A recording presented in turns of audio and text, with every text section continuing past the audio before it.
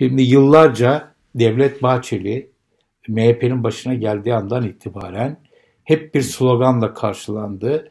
Devletin başına devlet gelecek diye, geçecek diye.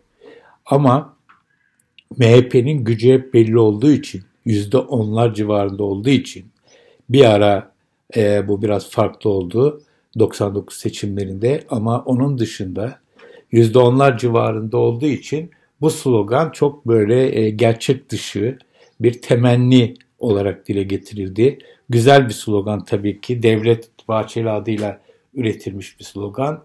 Ama bunun asla gerçekleşmesinin söz konusu olmayacağı hep düşünüldü. Ama şimdi baktığımız zaman devletin başında Recep Tayyip Erdoğan var ama Devlet Bahçeli de pekala bu ülkede devletin en önemli aktörlerinden ve sahiplerinden birisi olarak gözüküyor ve bir anlamda bu sloganın hayata geçmiş olduğunu da görüyoruz. Bu neden böyle oluyor?